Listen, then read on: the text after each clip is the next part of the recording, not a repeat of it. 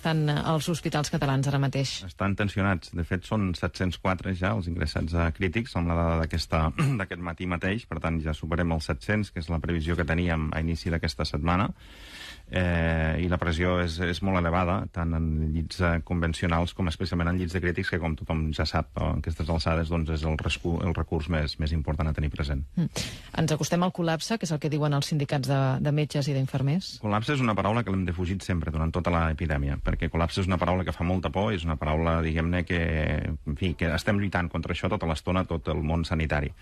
Eh, en la primera onada, que va ser la més dura, esperem, la més complexa, almenys de les que hem viscut fins ara, òbviament la més eh, difícil, eh, el sistema no va arribar a col·lapsar, com s'entén el col·lapse amb això d'haver de tancar les urgències i no poder, no poder entrar gent. Això no, no va passar ni amb Covid, ni amb malalties emergents, ni amb malalties més greus.